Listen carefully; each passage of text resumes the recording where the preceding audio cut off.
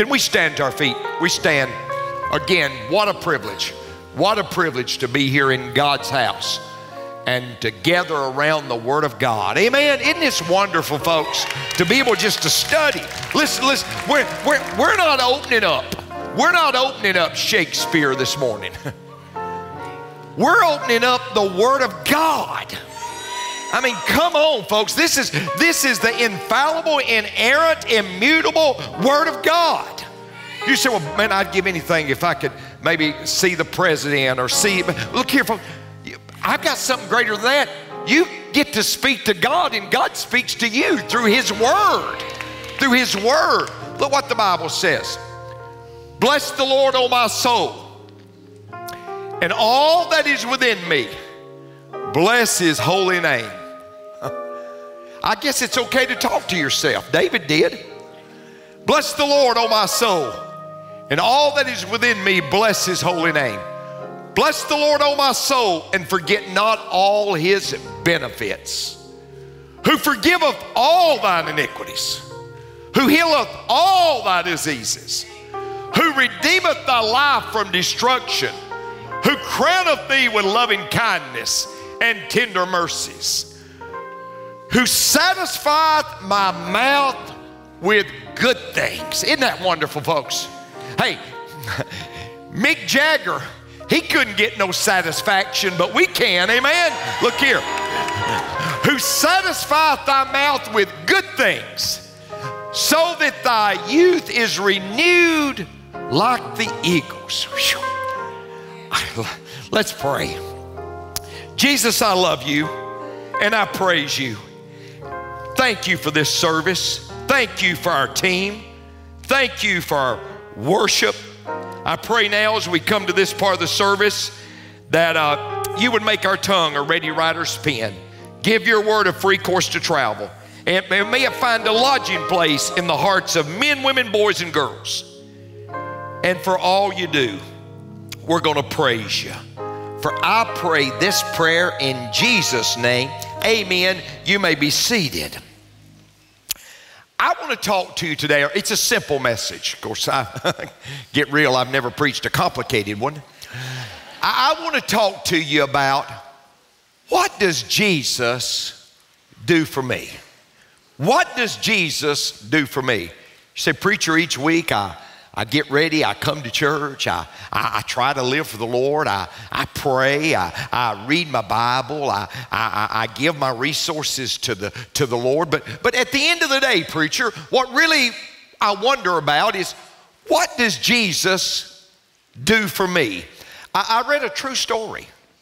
It was a story about a lady named Ramona. Ramona was a bitter lady and she was a bitter lady because she was blind. She couldn't see. And she was just angry toward everybody. I have learned that hurting people hurt people. Hurting people hurt people. Many times they're coming out of the hurt in their lives, they're, they're coming out of their pain. And, and she literally just didn't like people. But there was one man, his name was Daniel, and Daniel loved Ramona. He, he, he was in love with Ramona. And, and Daniel wanted to marry Ramona, but she said, I'm not going to marry you till I can see. I'm blind and, and I can't see. And they said it was around Christmas time that Ramona got a pair of eyes. And when she got a pair of eyes, what amazed her was Daniel was blind too. And Daniel said, I want to marry you.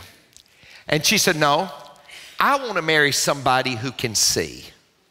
I, I don't want to be married to a blind person. So she got into another relationship and dropped Daniel. And Daniel sent her a card, and this is what the card said I love you. I'll probably always love you.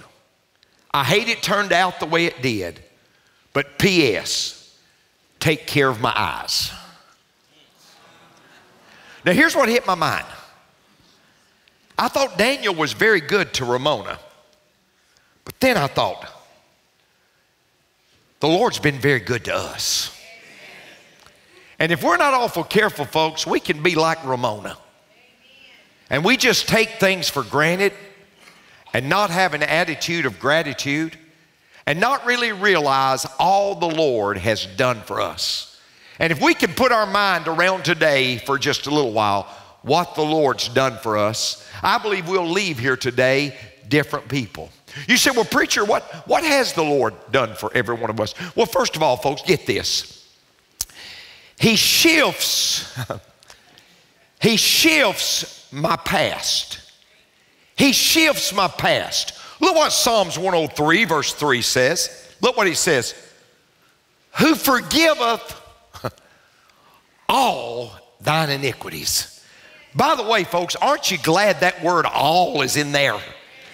Who forgiveth all thine iniquities. What, what, what, does, what does God do? Well, I, I think right quickly, He does four things for us. I think He takes us from a sinner to salvation. He takes us from a sinner to salvation. The Bible says in Revelation 1 and 5, unto him that loved us. And I just want you to know today, folks, God loves you. God loves you. Unto him that loved us, but folks, it goes farther than that. Unto him that loved us, and look at this, and washed us. Unto him, oh, get, no, you're not with me. You're not tracking. Unto him that loved us and washed us from our sins. How'd he do it? In his own blood. What will wash away my sins? Nothing but the blood of Jesus. What will make me whole again? Nothing but the blood of Jesus. See, on the seventh day of the tenth month, that high priest would take a lamb, folks. It was a lamb without spot and it was a lamb without blemish. And he'd cut the throat of that baby lamb. And that blood would flow into a bucket. And then he'd take that bucket and he'd go into the Holy of Holies. And he'd spread that blood on the mercy seat. What was he doing? He was making an atonement, he was making a covering for the sins of the people for another year. But he had to do it the next year and he had to do it the next year, and he had to do it the next year. He knew every year at three o'clock he'd have to cut that lamb's throat and that blood would flow down. At three o'clock, by the way, that's why when Jesus was on the cross at three o'clock, he cried out and said, It is finished. It is finished. But let me tell you, one day John the Baptist was baptizing and he looked up on the hillside and he saw Jesus, the Lamb of glory, and he said these words in John 1 and 29 Behold the Lamb of God that taketh away the sins of the world. Oh, come on, folks. Behold the Lamb of God that takes away the sins of the world. He didn't come to rub our sins in, He came to rub our sins out. What the Lord do for us? A sinner to salvation, but He does something else for us. that is a slave to a son. A slave to a son. Look what John says. Look what John says in John chapter 8. Verily, verily, or truly, truly, I say unto you, Whosoever committeth sin is a servant of sin. What happens, folks? We become a slave to sin. We become a slave to sin. And you say, Preacher, I can't overcome that. I'm just a slave to my sin. Preacher, look, I, I can't overcome the meth issue because I'm a slave to meth. Preacher, I can't overcome the pornography. Every day I have to log on and I have to get my fix of pornography. Preacher, I can't overcome the bitterness in my life because of what my ex did to me. I, I, I, just, you don't understand what I've been through. Preacher, I can't overcome it. What's happening, folks? We've become a servant to sin. But the Bible says, and the servant abideth not in the house forever. but the Son abideth ever. And wait, if the Son therefore shall make you free. You're free indeed. You're free indeed. There was a prodigal. I mean, he was a son, but he but he left the father's house. He, he, he, he left the father's house.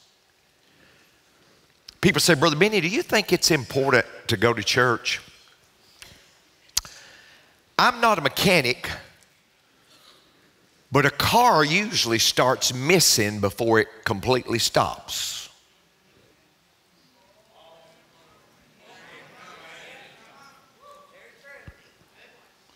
It usually starts missing before it completely stops. Uh, he said, I, am only, I've had enough of this church stuff. I've had enough. I, I'm going down to the Crystal Pistol. There's some lounge lizards I want to hang around with for a little while. I'm, I'm going to go down there and get tore up from the floor up.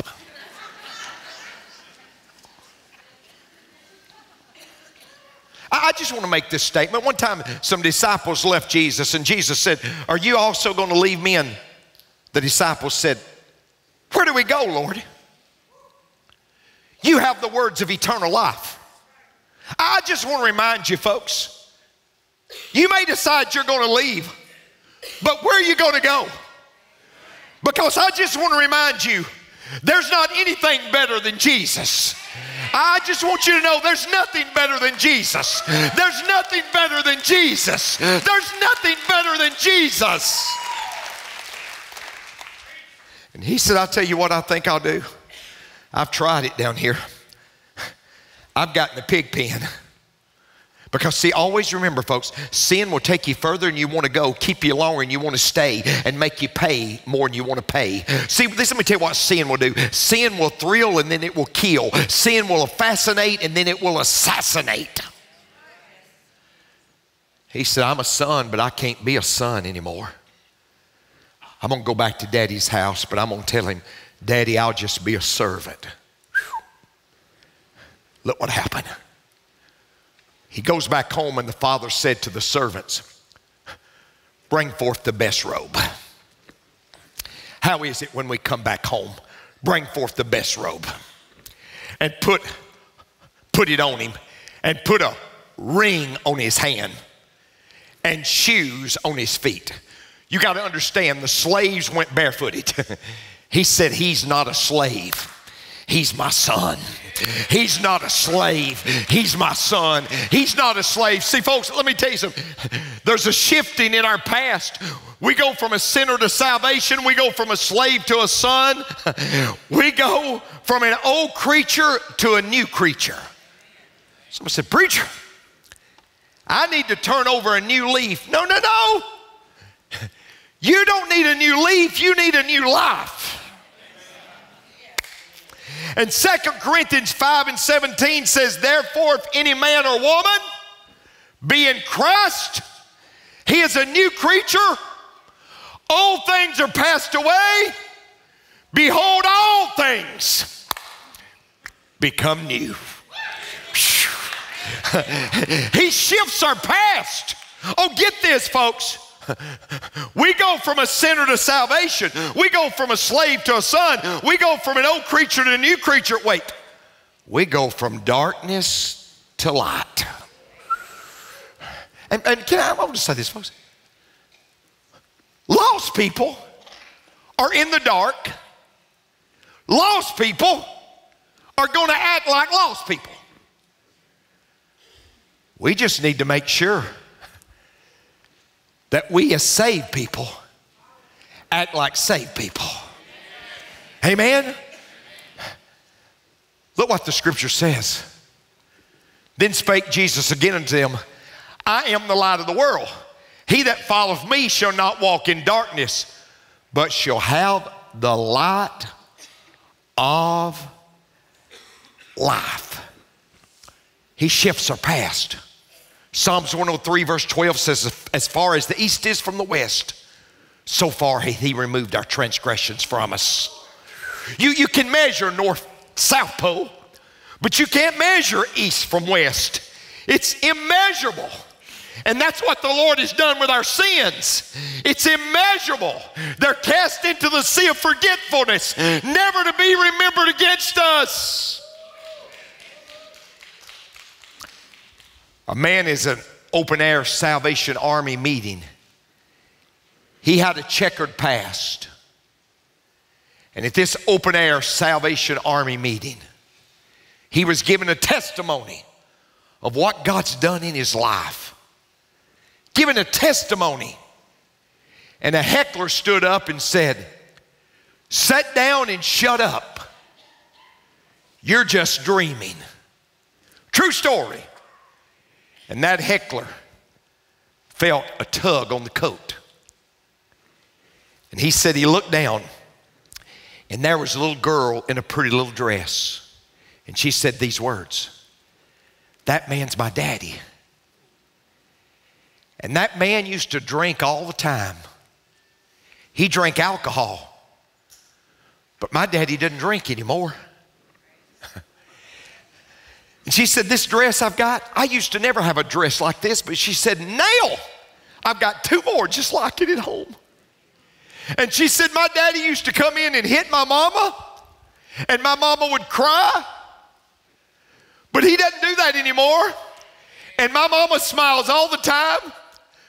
My mama even smiles when she's ironing.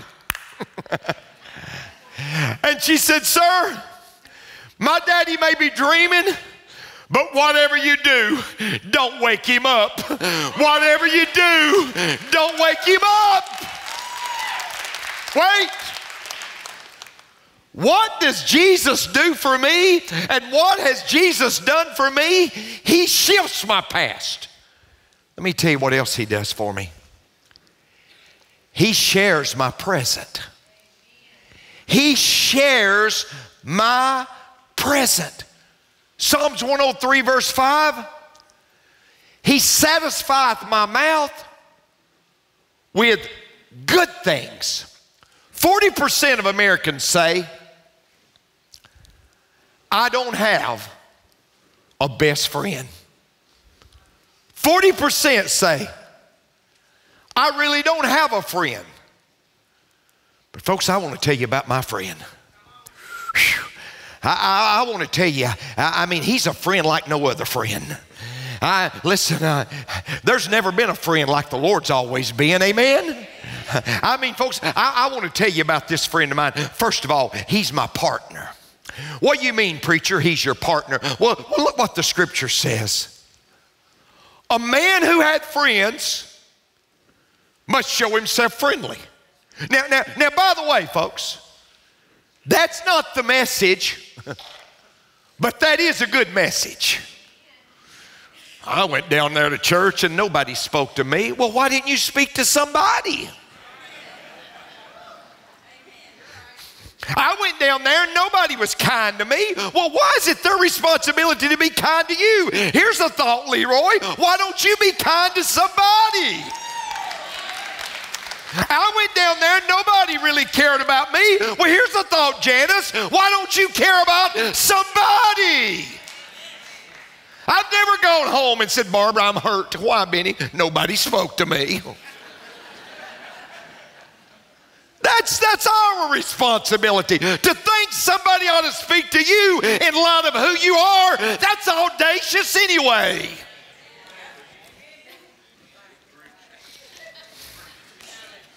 You say, well, Pastor Benny, I don't, you know, I'm probably not coming back here. Well, might as well load your wagon while I got you here. Amen.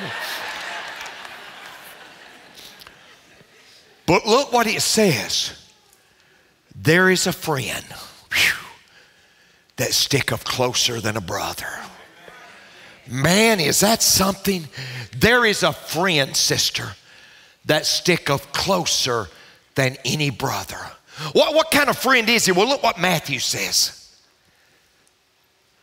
Teaching them to observe all things whatsoever I've commanded you. Wait. Lo, I'm with you always, even until the end of the world.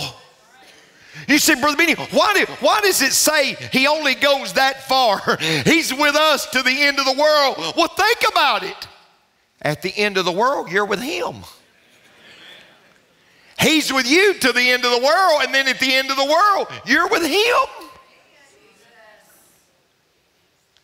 God said, No, I want you to build this boat. Whew, wow. 450 feet long, 75 feet wide, 45 feet high, about the size of the Queen Mary. And I got to do this, Lord. And I'm going to be in it. I don't know how long. He was actually in it over a year with all these animals. But look what look, look this, folks. Look what the Bible says. And the Lord said unto Noah, Come thou and all thy house in the ark. Did you get that, folks? Not go in, but come in. Not go in, but come in. What was he saying? I'm already in here. I'm with you, Noah. God said, Moses, I need you to deliver my people. Moses I can't talk plain. I can't, no, you don't understand, God. I, I, I don't talk real good. I can relate. Every time I preach, I invent new words.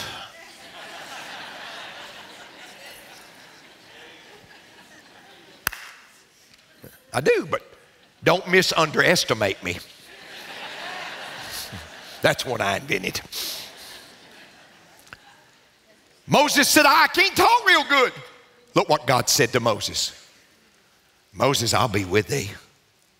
Joshua said, I can't follow Moses. He was the greatest leader. I, I just can't follow him. And God said, I'm going to be with you. Gideon said, I'm the least of the tribes. I can't deliver the Israelites from the Midianites. And God said to Gideon, I'll be with thee. Boy, we've got a partner, folks. But not only do we have a partner, He's given us a plan. What's the plan? It's in Matthew 6, verses 33 and 34. Here's the plan you put me first, you don't worry about anything, and you just live one day at a time. Is that a good plan, folks?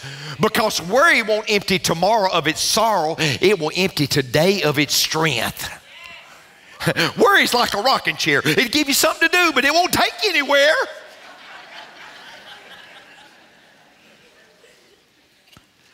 Joni Tada said, when I was 17, I had a diving accident and I was paralyzed. And she said, I was paralyzed. And I would go up to people and I would say, Cut my wrist. I want to die. She said, I'd take that wheelchair and I'd find a concrete wall, and as fast as I could roll that wheelchair into that concrete wall, I'd do it trying to kill myself. She said, I wanted to die. But she said, finally, I told the Lord, God, if I can't die, show me how to live. God, if I can't die, show me how to live. And I realized that God had a plan for my life. And one night I was being interviewed on Larry King Live, and Larry King asked me, said, Will you ever get out of that chair and walk? She said, Yes. She said, I will, Larry. She said, I've been in it over 50 years and I may not hear. But she said, One day I'm going to get to heaven and I'm going to walk, I'm going to run, I'm going to dance. And she said, Larry, I'm going to take this chair and I'm going to cast this chair into hell. He said, How can you say that? She said, Because the Bible says in Psalms 103, verse 3, who forgiveth all thine iniquities and healeth all thy diseases. And if God doesn't do it here, God's going to do it there because He promised me He's going to do it. Look, God's our partner. Jesus has got a plan because He's got a purpose for our lives. We were made on purpose for a purpose. He's got a purpose for our lives. Now, look, let me tell you what He does for us. He shifts our past, He shares my present, but He shapes my future. he shapes my future. Look what the Bible says in this psalm. But the mercy of the Lord is from everlasting to everlasting upon them that fear him. And his righteousness unto his children's children. What do you mean, preacher? He, he shapes my future. Well, look what he gives us, folks. And I, I'm almost done. He gives us a perspective of hope. A perspective of hope. Why, why, why can we be people of hope? Because young people, listen to Pastor Benny. Romans 8 and 28 says, and we know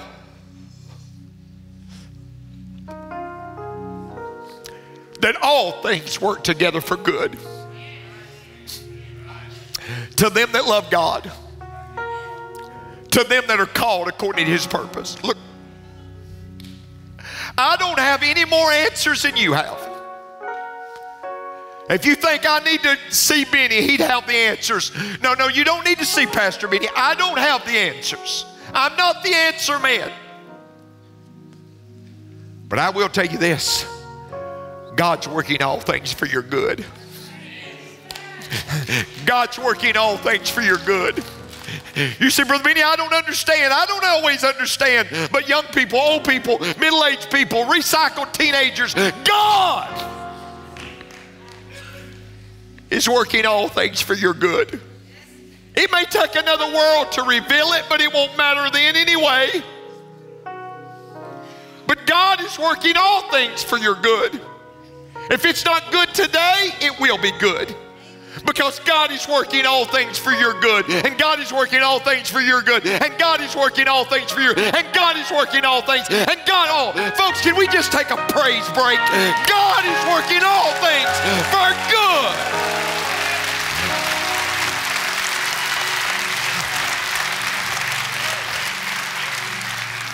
And look, then he gives us a promise of power over death. Friend, you don't have to live your life fearing death because He gives you a promise of power over death. In John chapter 11, Jesus said unto the sister, I am the resurrection and the life. He that believeth in me, is that us, folks? That believeth in me, though he were dead, yet shall he live. and whosoever liveth, I'm sorry, folks. I believe if a mosquito would bite me right now, it would leave singing, There's power in the blood. Amen. Look here. And whosoever liveth and believeth in me shall never die. A church was having service one day and somebody got sick and they said, Well, for the ambulance to come, it's, it's about 20 minutes for them to get here. And they said, We've got a guy in the church. He's a funeral director and his hearse is here. Let's put him in the back and let him lie down. And the guy gets in back of that hearse. They're moving fast, taking him to the hospital. It's got windows in each side. And some ladies pull up in a convertible. And he lifts his head up. And he winks at them. and they run off the side of the road. Friends, let me tell you something. We can wink at death because we know Jesus Christ. We can wink at death because of the power of Jesus Christ. Let me, I'm, I'm done. A perspective of hope, but a prepared place for the future. Hell, by the way, folks, there is a hell, but it was not prepared for any of you. It was not prepared for any person. You say, Preacher, is that right? I didn't know that. Oh, yeah. It's not, it wasn't prepared for any of you, any of us. Matthew 25, verse 41 says, It was prepared for the devil and his angels. Hell wasn't prepared for you, but heaven was. Listen, I was on a ship this week. I, got on the ship in Boston and I went up to Maine. I'm, I'm preaching. I, got on a ship in Boston. I, I, I, went up through Maine and up through Nova Scotia and on up to Canada. And I'm preaching. And I'd stand out there and I'd look. And I thought, boy, this is beautiful. But God, you did it all in six days and you've been working on heaven for 2,000 years. Wow. Wow. What's it going to be like? Wow, I don't know. Because I hadn't seen, nor's ear heard, nor has it entered into the heart of man the things that God had prepared for them that love Him. I just say, wow. But I know John chapter 14, verses 1 through 3 says, Let not your heart be troubled. You believe in God, believe also in me. In my Father's house are many mansions. If it were not so, I would have told you. No, wait. And I go and prepare a place for you. I go and prepare a place for you. Preacher, tell me what it's going to be like, and I'm, I'm done. Well, I can't put my mind around this, but Revelation 21 and 4 says this And God shall wipe away all tears from their eyes. So when you get there, can you imagine the creator of this universe?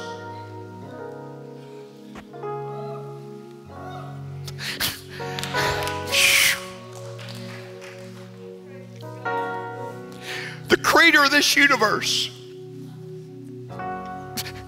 wipes the last one away. Just wipes the last one away. You say, Preacher Benny, what happens after that? Well, the Bible tells us in Genesis 25 and 8, it tells what's going to happen to you. I want everybody to shut your eyes. Shut your eyes. We're not done yet. I'm just getting you to shut your eyes. Think about somebody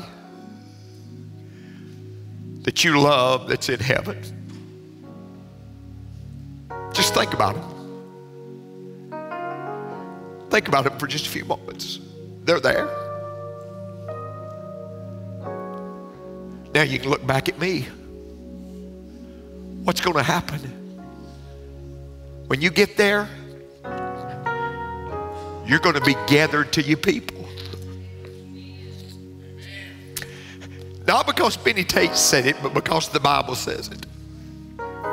You're going to be gathered. There'll be husbands gathered to a wife. There'll be parents gathered to children. There'll be children gathered to parents. Won't it be wonderful there? What else is going to happen? Well, 1 John 3 and 2 tells us. Then we'll go to Jesus, the one that we've sang about, preached about, prayed to, studied about, given to, and we'll get to see Jesus. Glory be to God. Glory be to God. Glory be to God. Glory be to God. Get to see the one Jesus, the Lamb of glory, the one who's responsible for us being there. What does he do? Does it really pay, Benny? Oh, it pays. oh, Jesus. It pays to live for Him and the retirement plans out of this world. because He shifts my past. And when I'm all alone, He says, You're not alone, I'm with you. I'm going to share your present, but I'm going to shape your future.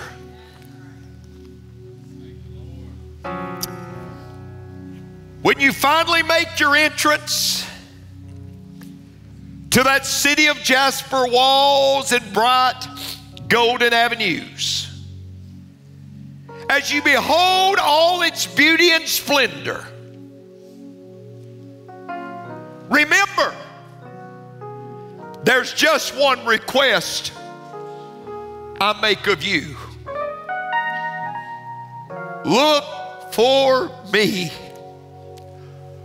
for I will be there too.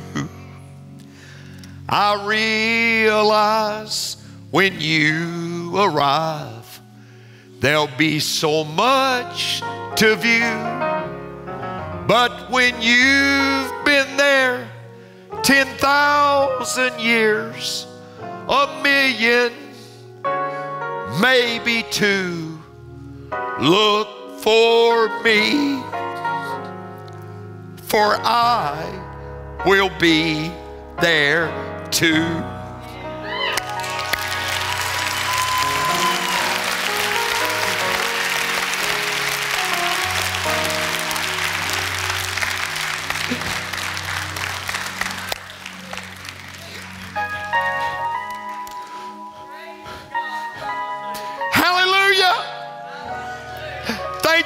Lord, for what you've done for us. Can we tell him that? Thank you, Lord, for what you've done for us.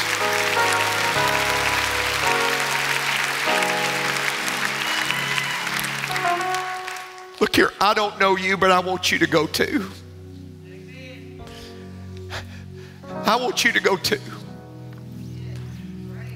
Brother Benny, how can I? By putting your faith in Jesus. Just for a moment, every head's bowed and every eye's closed. No one's looking.